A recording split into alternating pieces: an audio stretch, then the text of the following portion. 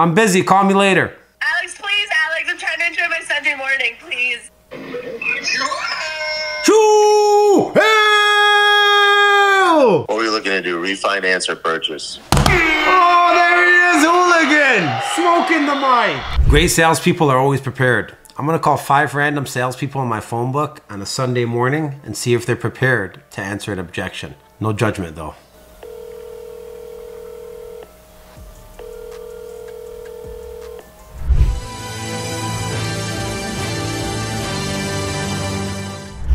Kazuya, look at you. You look like you didn't even sleep. Hey buddy, it's Sunday morning here. We're calling random salespeople live, seeing if they're ready for an objection. Mike, I'm not interested. Well, I mean, give me a couple minutes of your time. I'm sure I can just basically offer you some numbers that you can compare to what you have on the table already. I'm already working with somebody. Uh, we know that. That's exactly why I'm calling you. I know that you're working with somebody else. That's why we're calling you. We're going to give you something a lot more aggressive. We want to win you as a client. I have up to three points right now, which is 3% of your loan amount that I can give you as lender credits to win you as a client. Trust me, I've been doing this for 10 years. Allow me two minutes every time. I'm going to demolish whatever deal you have on the table. like crazy. What are you doing up so early, man? All right, let me keep going. I'm calling five random people. I got this live right now.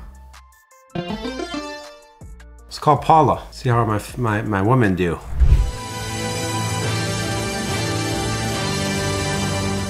What up, B? What up, B? We are uh, calling salespeople live here on a Sunday morning to see if they're ready to handle any objection at any time. So I want to tell you, stop calling me. I'm not interested. Go. Bro, stop. Hey, we are live right now. Stop calling me. Go. Just give me your best shot. I hear you. Listen, this is only going to take two minutes, and by the end of the two minutes, if you're not interested in what I have to hear, if in what I have to say, I promise I won't call you again. S and then pivot. Beautiful. If you're not interested in what I have to say, I won't call you again. I'd rather you say you're definitely going to be interested in what I have to say, so give me two minutes. Pivot. You see how we just turned a negative phrase to a positive phrase? There's never no way out. There's never anything negative. It's always the best day in the world and the best thing in the world for everybody on the fucking phone. I love that. Let's try one more time. I'm busy. Call me later. Alex, please, Alex. I'm trying to enjoy my Sunday morning, please. All right, PTSD. Peace. PTSD. Are you leaving? That's it? Uh, yeah, we're live. We're about to call the next salesperson.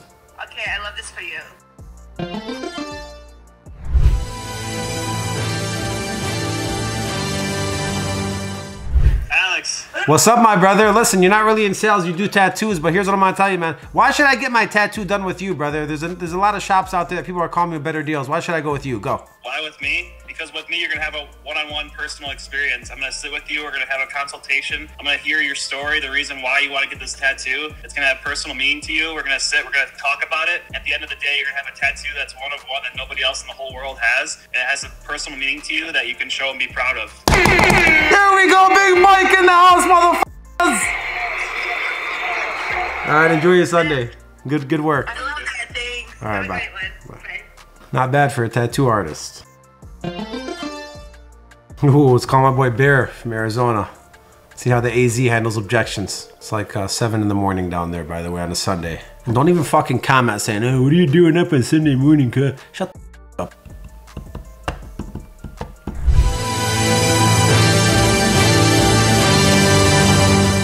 Hello, you've reached Mike Barracat at Pride Home Mortgage. I'm either on another call or away from my desk, so please leave me your name, number, and a brief message after the tone. I'll get back to you as soon as possible.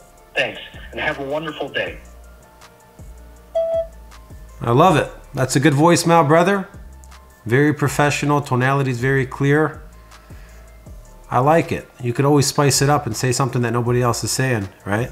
It's Mike Bearcat with Pride Home Mortgage. Thanks so much for calling. I'm pretty much on another call or away from my phone, but I will make sure to call you back. And here's what I tell you. Thank you for calling. I will make it worth your time like I do for every other person that ever calls me. God bless you, and I can't wait to help you and your family. Boom!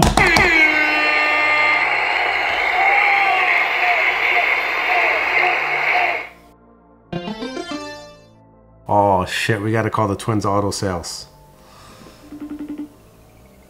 Holy shit. These guys are the number one car dealers. Well, I know they're number one in US, I believe.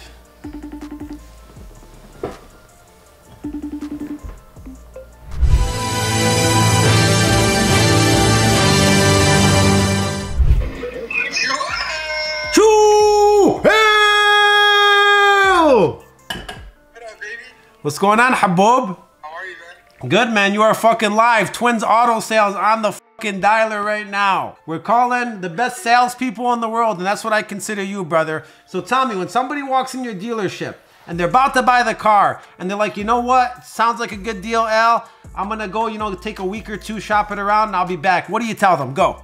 Whatever I deal I give you today is nothing uh, deal tomorrow. So get on it, baby. Get on it. Whatever deal I give you today is not the deal tomorrow, so get on it. So what if like, all right, that's cool, man. Well, I'll see the deal tomorrow. What do you say then? Go. Every day's deal, baby. Every day's a new deal. And today's the best deal, so you better jump on it right away before somebody else takes it. What if they say, how do I know you guys are the best, Al? What if I could get it cheaper somewhere else? What do you say? You came here for a reason because you know you're the best. We, we, you know we're the best. Twins Auto Sales, motherfuckers! Get on it! Let's go. I'll hit you back to talk business. Yalla. All right. Bye. Let's hit up my boy Kurt Cobain. He's a realtor I know.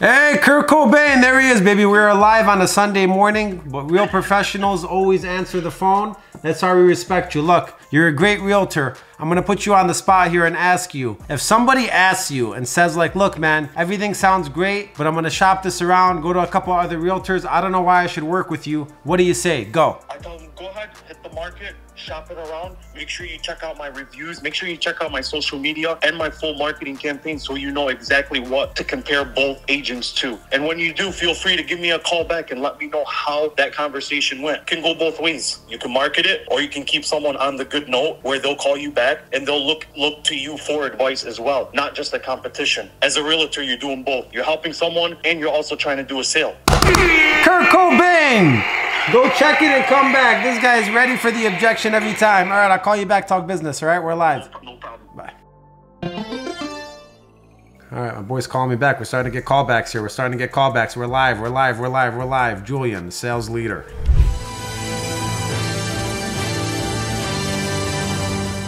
Yo, Hooligan, I'm going to ask you two different questions. It's a Sunday morning. You sound like you just woke up. That's okay. We are live here in Northville, Michigan. I'm going to ask you number one, okay? I want to see how ready you are for a sales objection. If I call in and I tell you, look, man, I'm not interested, what do you say? Go. listen, everyone I talk to is not interested, but at the end of the day, I'm going to show you the best numbers you've heard of, and you can make a decision based off of those numbers and make an informed decision for you and your family. So, what were you looking to do? Refinance or purchase? Oh, there he is, Hooligan! Smoking the mic. One more question because you're a great sales leader. If somebody wants to come to your team and they're like, look, man, why should I come to your team and not go to any other leaders? How do you answer that? Go. Because the level of support that I'm going to give you and be able to guide you through your difficult times and your good times, I'm going to be able to be the best one for you. He cares, people. All right, we're live. Thanks. I'll hit you back.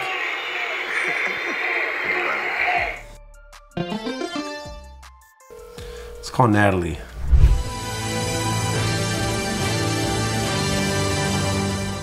Old G broke like 40 G's many times. What up, Natalie? Happy Sunday morning. We are live here in the studio. And I want to call the best salespeople that I have in my phone book and the best salespeople in my academy today. You're one of them.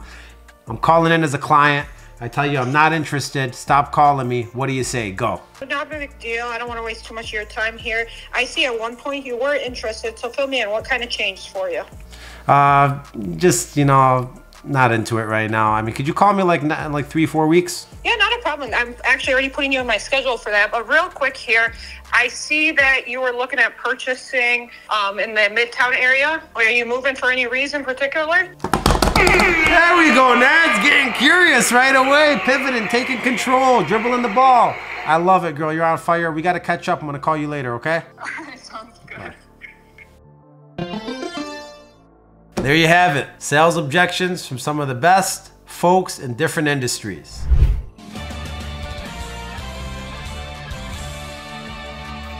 How do you handle your objection? Stay tuned for the next episode.